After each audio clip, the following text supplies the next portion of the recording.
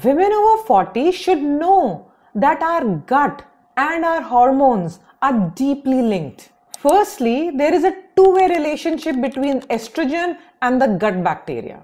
Estrogen nourishes and influences the gut bacteria, and in turn, the gut bacteria actually regulates the estrogen levels in the body.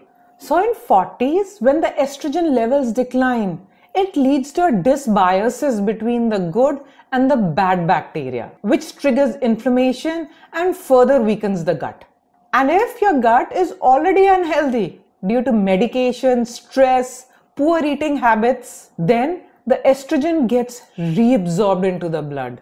And what that does is estrogen dominance, which leads to irregular periods, fibroids, PCOS, mood swings, cravings, and many more things. Second, there is a link between low estrogen and leaky gut.